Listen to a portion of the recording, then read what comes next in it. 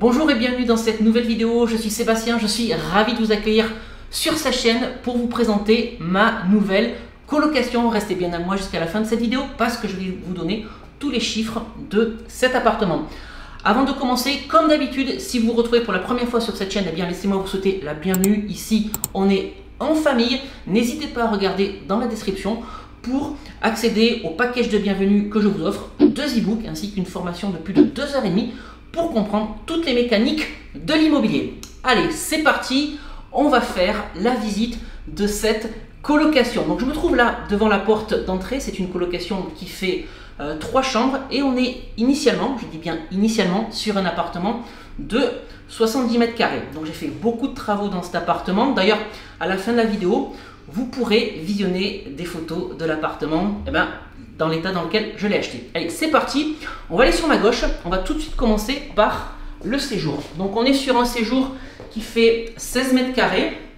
Donc vous avez ici euh, un canapé en face duquel on a la télé et puis ici eh bien, on a un coin repas euh, voilà, pour que les colocataires puissent euh, dîner, déjeuner, prendre leur petit déjeuner. Donc sur cette colocation, bien entendu, comme d'habitude, je me suis fait aider bah, d'une architecte d'intérieur qui m'a aidé dans le choix du mobilier, dans le choix des couleurs, dans le choix des éléments de, décoration. Donc voilà, je laisse regarder les cadres qu'on a au mur, la lampe ici euh, sur pied, et puis de l'autre côté, voilà, on a des miroirs décoratifs, euh, toujours un grand cadre dans le même esprit que ceux qui sont au-dessus du canapé, des étagères murales avec des éléments de décoration. Ce qui est bien également dans cet appartement, c'est qu'on a un espace extérieur, donc je vais vous amener de suite sur le balcon de, cet appartement. Alors c'est un appartement qui est traversant, on est orienté ouest ici de ce côté et est de l'autre côté à la cuisine, c'est-à-dire qu'on a du soleil en début de journée et en fin de, journée. Puis voilà, on est sur un appartement qui est très très lumineux. Allez, je vous montre le balcon.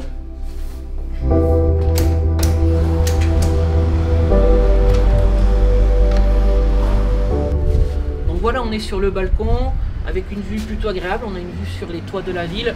Voilà, j'ai rapidement aménagé euh, le balcon avec du gazon synthétique pour avoir une ambiance euh, un petit peu plus habillée, un petit peu plus sympathique. Voilà, ici ils pourront fumer leurs cigarettes s'ils sont fumeurs, boire un café, boire une bière, bref, euh, un endroit assez sympa.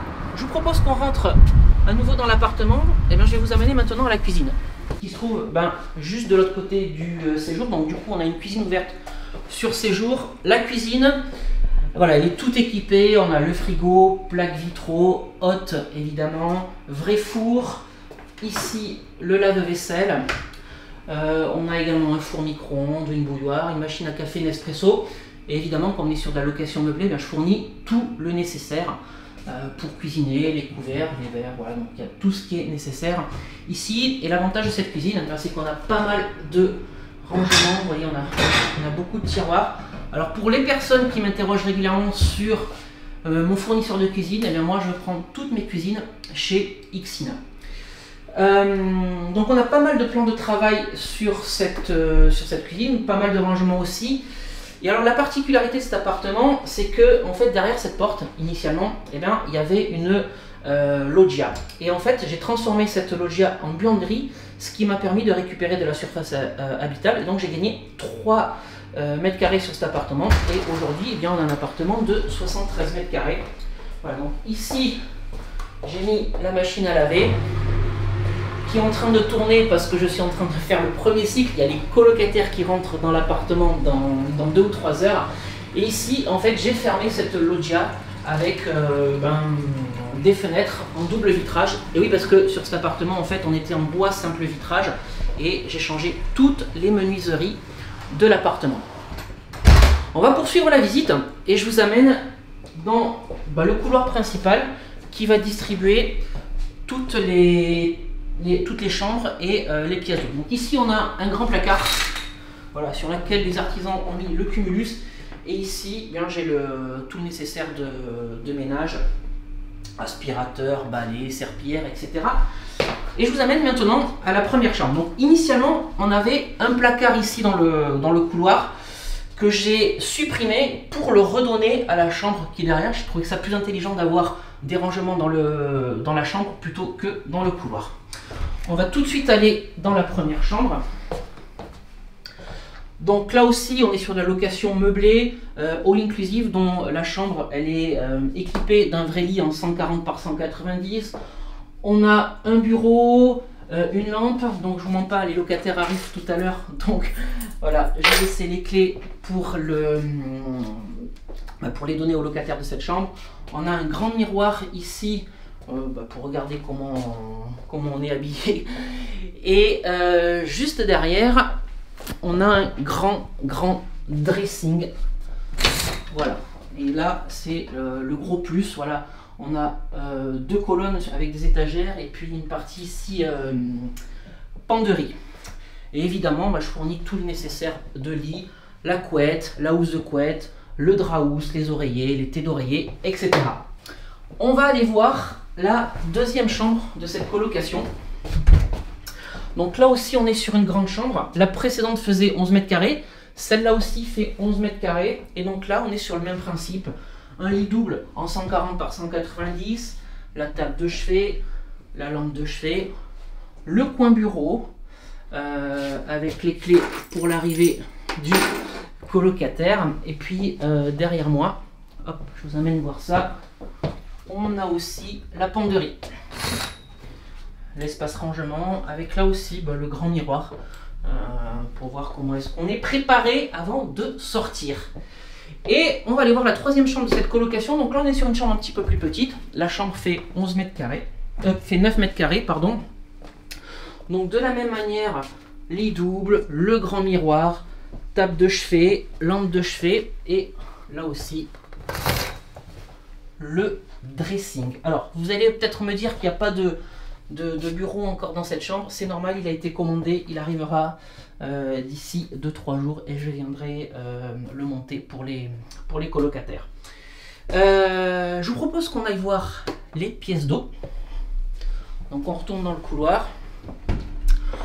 Donc la première pièce d'eau, voilà, c'est le donc avec WC suspendu, donc évidemment on a, on a tout faïencé, euh, c'était pas comme ça à l'origine. Et on va aller voir la salle de bain également. À la base, dans cette salle de bain, on avait euh, une baignoire euh, avec une vieille vasque sur pied. Donc on a supprimé tout ça. Donc là, y a une belle vasque moderne. Sèche-serviette derrière moi. Et ici,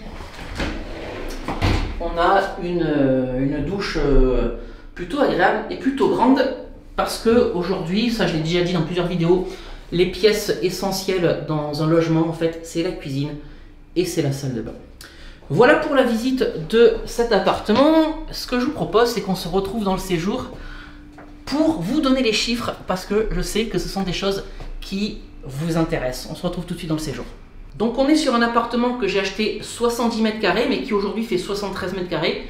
Comme je vous l'ai dit tout à l'heure, en fait, euh, l'ancienne loggia, je l'ai transformée en buanderie. J'ai récupéré 3 mètres carrés. Donc, on est sur un appartement de 73 mètres carrés. Et cet appartement, eh bien, je l'ai acheté 46 000 euros. 46 000 euros pour 70 mètres carrés. Ensuite, j'ai tout refait dans cet appartement. Honnêtement, il y avait, il y avait de la tapisserie au plafond. Bon, j'ai cassé des cloisons, j'ai remonté des cloisons.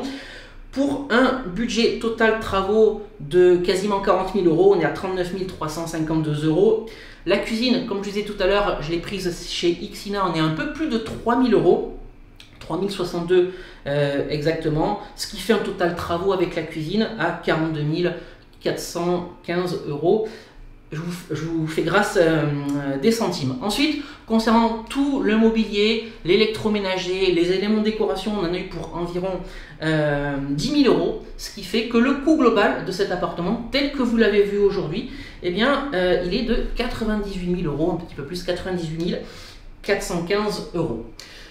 Ce que je vous dis régulièrement tout au long de mes vidéos, c'est qu'à partir du moment où vous devez investir dans l'immobilier ou vous voulez investir dans l'immobilier, eh bien, il faut que le coût global de euh, l'opération, eh bien, soit euh, toujours inférieur à la valeur du bien. Donc ici, eh bien, on a un projet global à 98 000 euros, donc un petit peu plus, ça fait 102 000 euros avec les, frais de notaire.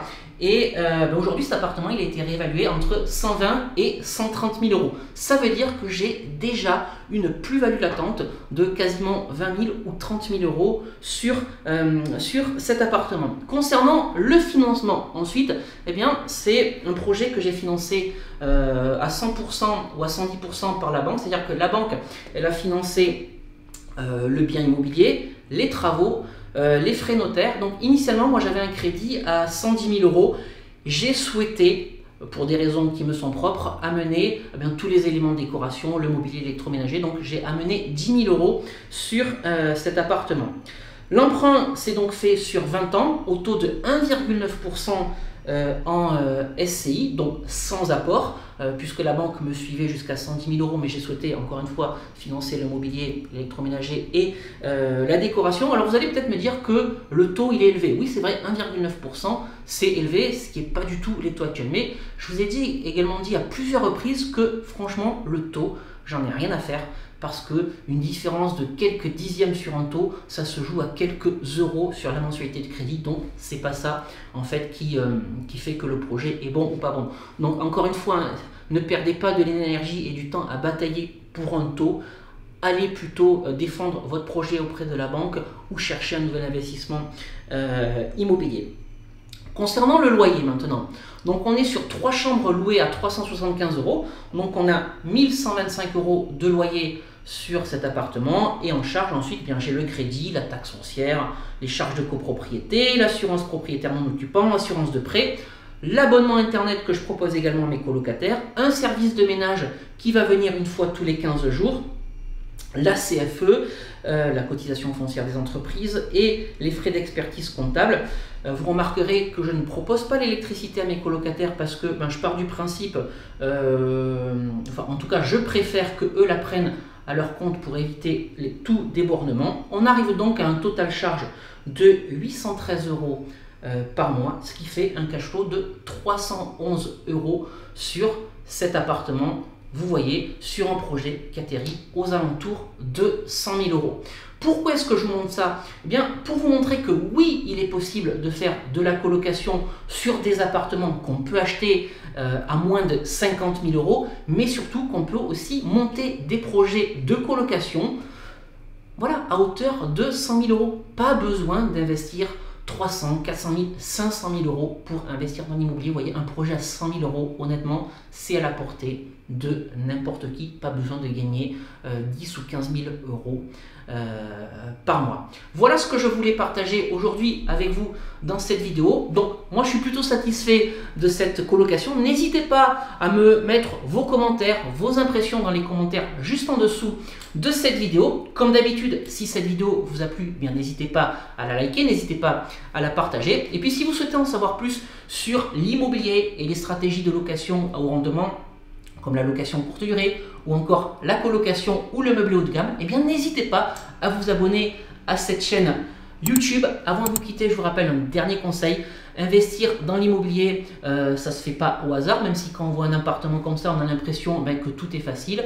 Voilà, il faut faire les choses de manière euh, responsable et raisonnée. Ce sera mon conseil de la fin. On se retrouve très très prochainement pour une autre vidéo sur cette chaîne. Je vous dis à très très bientôt. Ciao